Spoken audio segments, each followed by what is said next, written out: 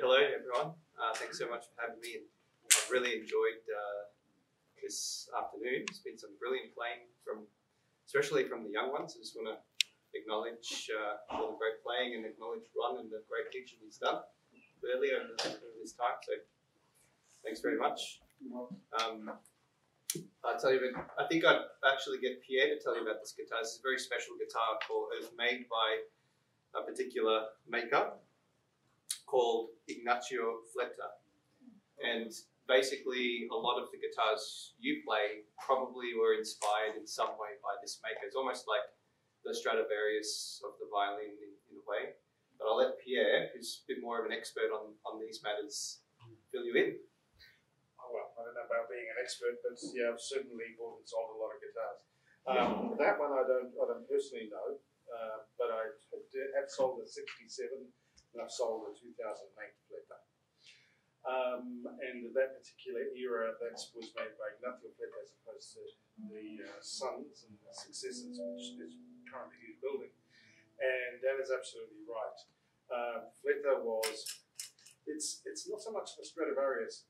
I tend to think of Fletas as much, much more like a cello. The notes are big, they're very resonant, they're very ripe. Um, and to me, it's it's like hearing Pablo Casals play. It's those big, big, lovely big notes that he has. Um, was way be, be before his time. Uh, in '67 that I sold, um, I've sold vintage guitars, and a lot of them are a bit approximate in terms of intonation and making, and their understanding is not quite. I like when I look at some of these beautiful guitars, I think, yeah, but who, who would I sell it to? Because people would look at it and say, you love it, but it's, it's not really playable for a modern player.